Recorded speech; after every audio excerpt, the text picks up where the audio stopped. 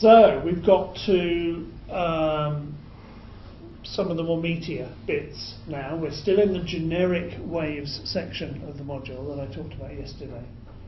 Uh, but we've done our definitions now, and you've proved quite satisfactorily that you can handle, you know, the sort of calculations we're going to have to do. So I want to look now at these topics one by one.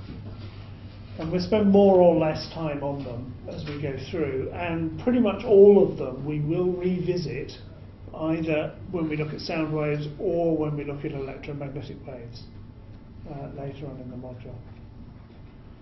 All right, and I'll try and bring out what they mean in the context of, of those sort of more real phenomena. But for now, we're still on generics. So let's look at reflection first. Oh, actually, this is a preamble, I suppose. Um, and it's it's useful or useless depending on how you choose to think about things.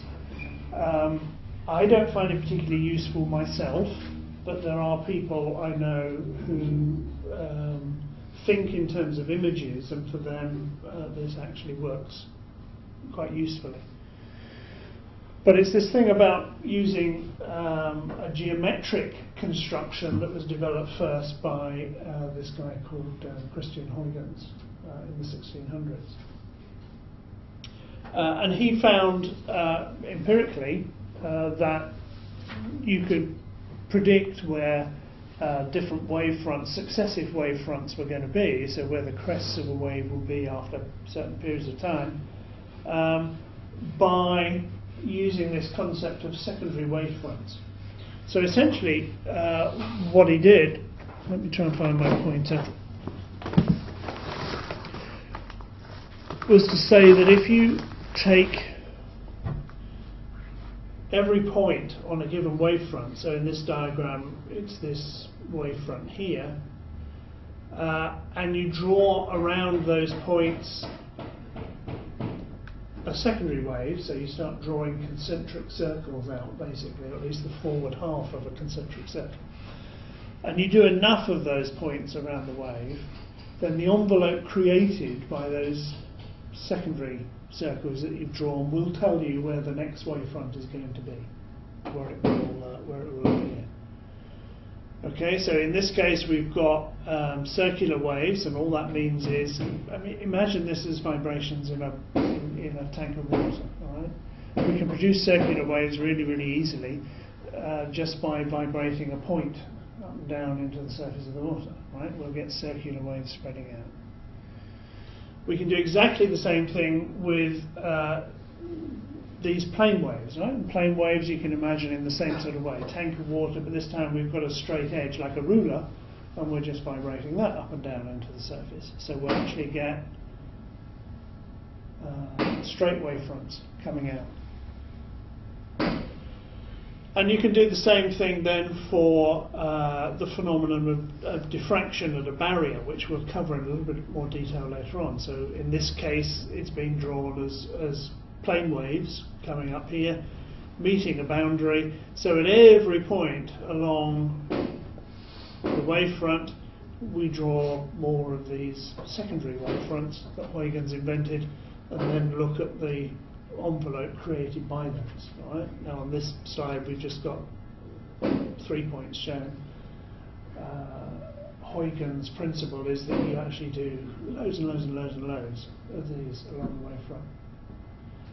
Um, so anyway, as I say, some people find this useful. Uh, what it illustrates in this case, for instance, is that um, you will get some light intensity beyond the barrier. Okay, so light does go around corners. Yeah. Does this work for a non-uniform source? So if the source isn't repetitive, what if it's random? Well, then in, in our definition of what a wave is, it's, it's outside the scope of that, right? We talked about a regular repeat oscillation, but, I mean, so, you know, that's just a technical nicety. But in principle, yes, it is. Right. So even if you just did one oscillation, and sent out away wavefront from that, you would still get this effect at a barrier. Okay, we'll look at more examples of this later on. Um, diffraction effects at barriers are really, really important uh, topic in physics. Okay, so first topic then is reflection. Um, so let's talk to of plane waves because actually that's a lot easier, although this works with circular waves as well, uh, and I'll show you an example of those uh, in the next slide or so. But let's take it now as a straight wavefront. In other words, the crests of our waves are um, linear and parallel to one another. So it's meeting a reflective surface at some angle. I'm going to talk about what the angle means in a second. Um, what the law of reflection tells us through copious observations uh, is that the reflected wavefront is going to have the same angle to this reflecting surface, whatever that is, as the incident wave had. Right? This isn't going to surprise you. Anyone who's looked into a mirror knows that the angle of incidence is equal to the angle of reflection. Right? Um, so it's not new. Um, if we're looking at circular wavefronts rather than, than um, um, plane wavefronts, then we have to think about it in terms. Well, it's exactly the same process, but of course now we have to consider uh, every segment of this curved wavefront as it reaches the reflecting surface. It's still coming off with an angle of reflection which is equal to the angle of incidence, but of course that angle of incidence is changing because we've got a curved wave coming into a reflecting surface. Um, so they look slightly different. Um, there are two photographs here taken from uh, a water tank, essentially. So in this case, we've got a point oscillating in and out of the surface, so it's giving us these circular outgoing waves right, from that oscillating point. And here's our reflecting surface down here. And what we see is a reflected wave coming back off that surface. It's, it's obeying the rule that I gave you on the previous slide, but as I say, because the angle of incidence is changing as this circular wavefront reaches the flat surface, so we get a changed angle of reflection. But it's all operating under the same rules. Geometrically, how you would uh, describe this, draw this, uh, is to essentially take the image point of your real source. So, right, this is sort of that distance above our surface, so we imagine another point down here, which is also emitting uh, circular waves, right? It's shown diagrammatically down below. So this is our real source of oscillations. This is our real wavefront, which is hitting this surface. What gets reflected back looks as though it's come from this imaginary point on the other side. Right? So that's just an easy way to apply the rule that the angle of reflection equals incidence. Uh, for a plane wave, it's a lot simpler, of course. Here's our reflecting surface. I don't know which direction this is coming, but let's assume our plane wave's coming in this way. And so originally, you know, it's quite a long thing when it's out here. It's hit this surface. This is going to be our angle of incidence. What is that? About 45 degrees. So the angle of reflection is the same. It's 45 degrees. So this wavefront's coming in, this one is now being propagated out. Um, I'm not sure how useful these are going to be, but we'll have a look at one of them anyway. Um, if it still exists.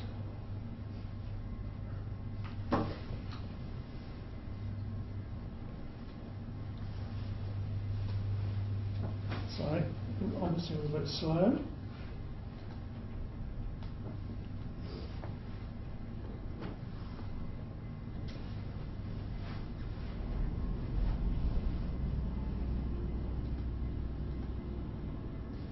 Right, so this is using Huygens secondary wavelets to illustrate the process of what's going on. Don't worry about the lower part of this curve, that's actually showing refraction, which is our next topic. It's just this yellow stuff we're looking at. So we've got a wavefront coming down to the surface, and at each point we've got the angle of reflection is equaling the angle of incidence, and so actually we end up with our plane wave going off uh, in that direction over there. This is drawn with 45 degree uh, angles on here. Okay? Now, as I said yesterday, there are loads of these cartoons on the web. Yeah? Could the outgoing wave that's going back out in that example up to the right interfere with those coming in and therefore screw the whole thing up? No, No. it doesn't. Uh, there are some interesting bits of physics there, but I'm not going to digress down that road because that would take us forever. Um, there's some stuff we do in our research which is um, relies on the fact that you can't always tell what comes first. But anyway, let's stick to this because otherwise it would be the entire rest of the lecture telling you about stuff that I'd really like to tell you about, but we shouldn't really spend the time on. Um, okay, so here diagrammatically is what we've just seen in that cartoon. So we've got our incident wave coming down here. Here's the wave front um, A to B as a point on this wavefront happens to reach our reflecting surface. And here's the reflective wave going off. Uh, so here's the reflective wavefront going from C to D. All right. Now this is geometry here. There's nothing terribly complicated about this. The thing we must remember is that everything is taking place in the same medium above the reflecting surface. In other words, there is no reason to believe the wave speed is going to be changing. Now that's not true when we talk about refraction, which we'll, we'll come to in our next topic. But here, everything is travelling at the same speed. Okay? So that means that it must take exactly the same amount of time uh, to get from A to D uh, as it takes from B to C. The lengths of those lines must be the same because the wave speed is the same which means that these two triangles, A, B, and C, and A, D, and C, are congruent. Now, those of you who've forgotten your basic geometry may need to go and look up what congruent triangles mean, but the essential result of this uh, is that that angle there must be exactly the same as that angle there. In other words, the angle of incidence must be the same as the angle of reflection. Alright, now so far I've not given you a key parameter about these angles. They are always, always, always, always, in what we're going to be talking about, measured with respect to something called the normal. And this is the normal. It is the perpendicular to the res- reflecting surface in this case. Yeah? But it's going to be defined always as the perpendicular to whatever interface we have between medium 1 and medium 2. So it doesn't have to be a line, as on that diagram, it could be a surface. So if this bench, for instance, was our uh, the interface, right? We're talking about an interface now between air and wood. The normal to that surface is a perpendicular to the surface. In other words, it's at right angles in every direction. Yes? And the angles will always be measured with respect to that. That's our reference direction. Um, so do remember that because sometimes you're going to be do cal- doing calculations that will tell you about uh, not that angle but that one, for instance, and you're going to have to remember to subtract it from 90 to get the uh, um, the angle that we're actually going to be requiring. Excuse me. So that's reflection. Um, okay, next topic, refraction.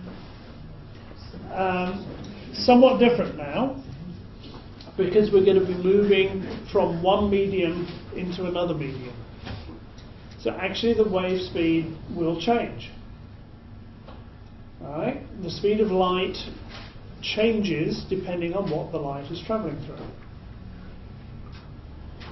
So when people rather lazily sometimes talk about the speed of light being a fundamental constant, actually all they're talking about is the speed of light in vacuum.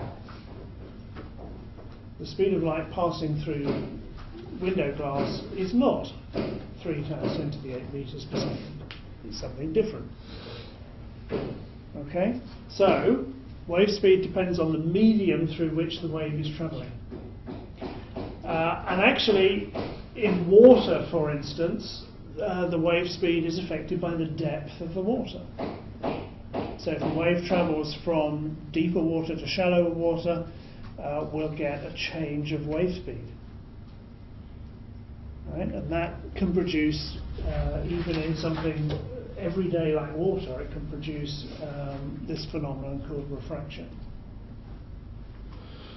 All right, so uh, when we've got setup as shown on the slide here, so we're going from deep to more shallow water, then uh, the wave uh, is actually going to uh, have an angle that is closer to the normal after it's crossed the barrier to that it had an incidence.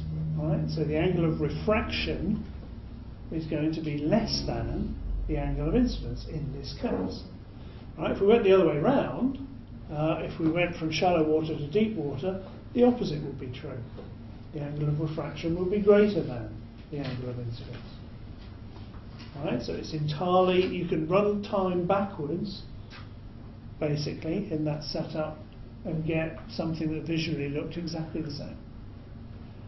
Um, okay, so we can do the same thing with light. If we've got light entering a, a, glass block, say, from air, uh, then the angle of refraction, so the angle the light has to the normal inside the glass block, is less than the angle of incidence, the angle it had to the normal when it came in from air.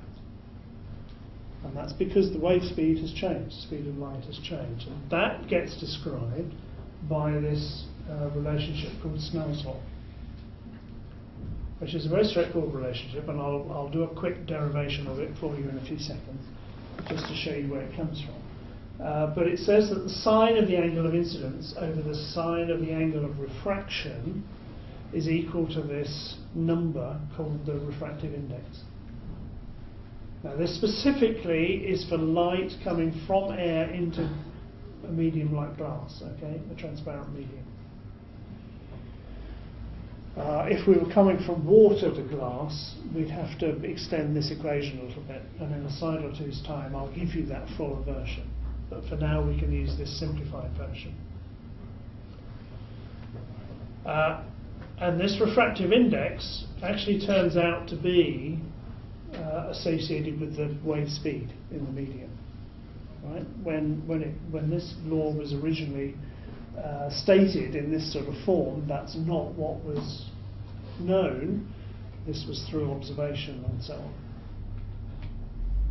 But we know that now. All right, so here's our water tank experiment. This is coming uh, from deeper water into more shallow water. So here's our plane wave fronts coming into this submerged barrier here, which is altering the depth of water. And you can see that our refracted wave is now at a different angle to the interface compared to our incident wave.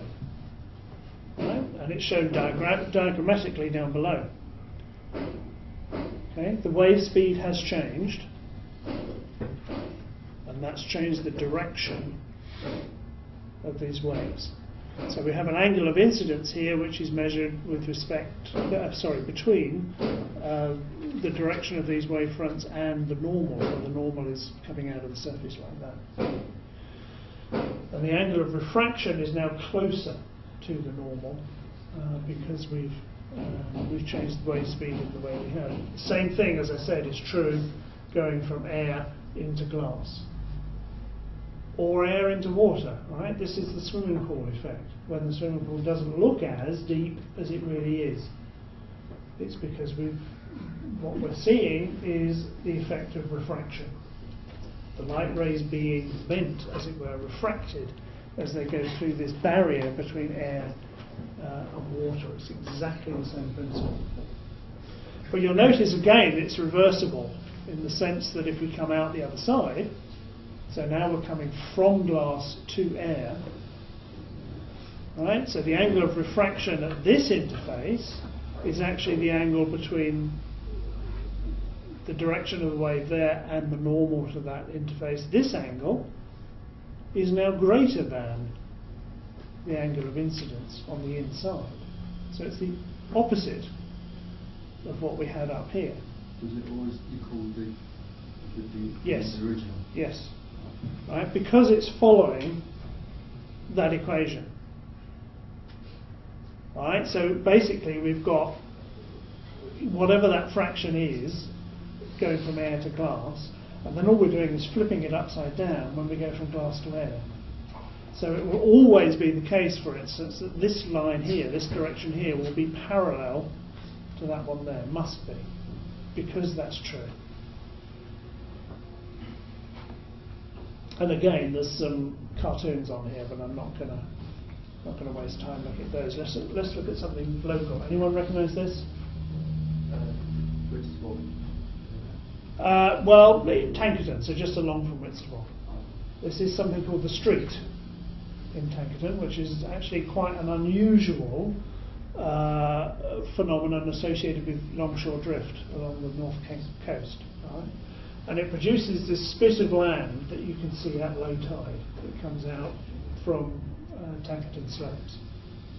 Right, so when you see the hundreds of beach huts on Tankerton slopes, those of you who visited, this is essentially coming out at right angles to that row of beach huts.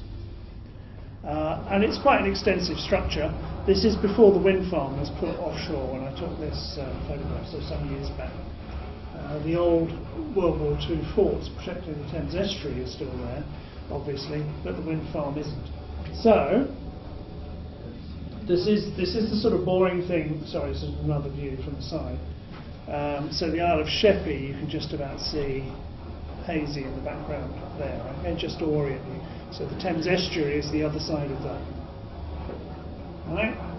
Get to know the geography of your local area.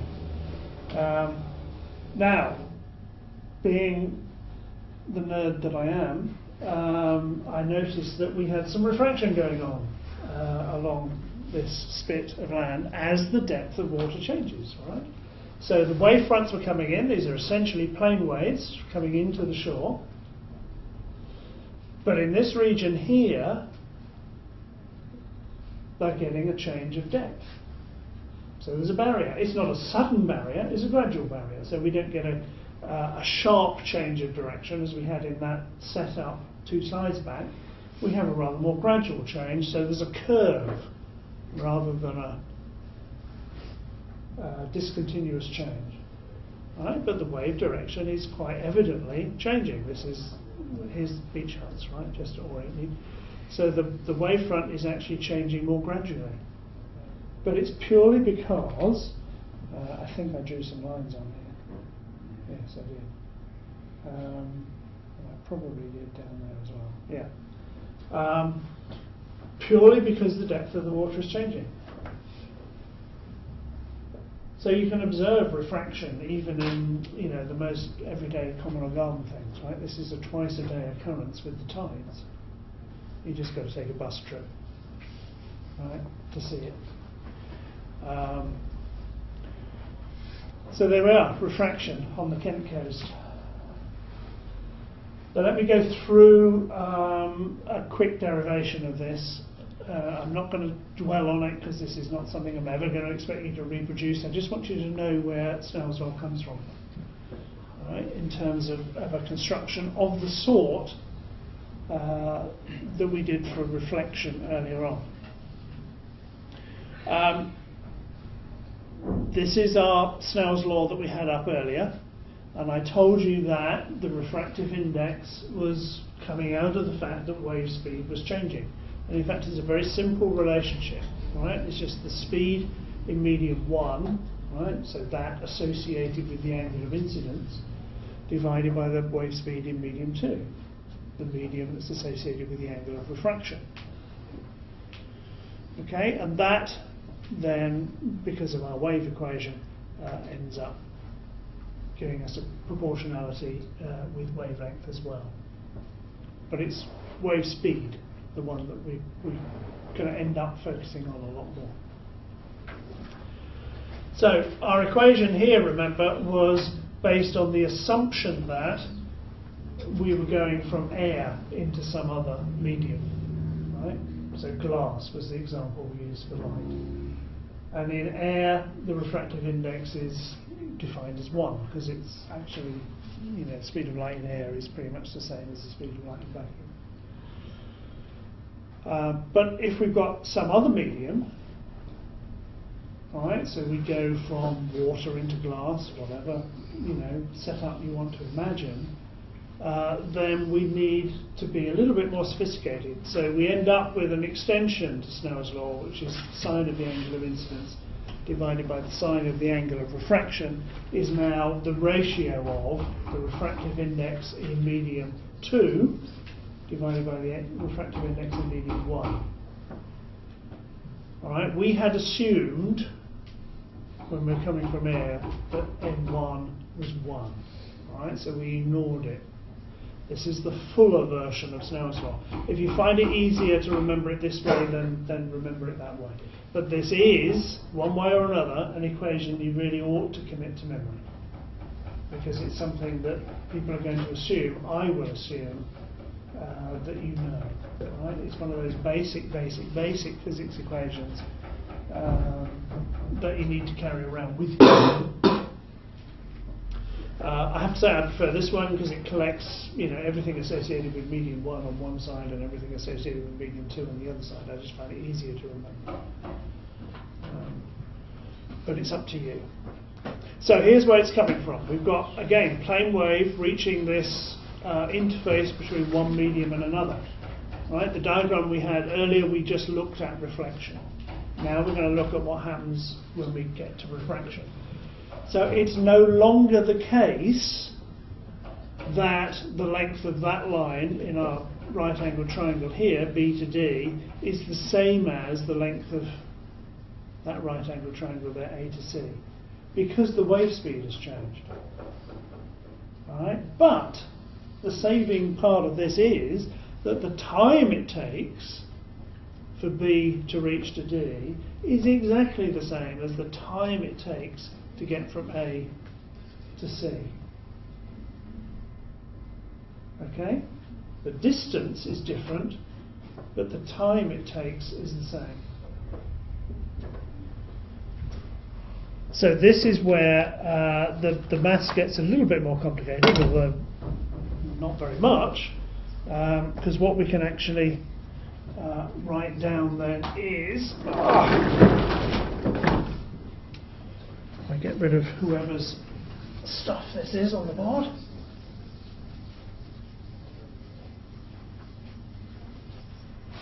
Um, yeah, let me write this out fully. So, time taken from B to D, what I've just said is the same as time taken from A uh, to C. So, the length of this line divided by the length of that line Well, speed is just distance over time, remember? So if we're going to write our distances down here, we can put c1 times t over c2 times t. It's the same time, remember? So obviously the t's will cancel out. Yes? So here's where we get the sines in. It's, oh, it's so easy, this stuff. Um, so what I'm going to do is rewrite this equation as that. Right, so I'm dividing top and bottom by the length of the line uh, AD. Yeah? That's all I've done. And that immediately, given that these are right angle triangles, remember, uh, is going to give us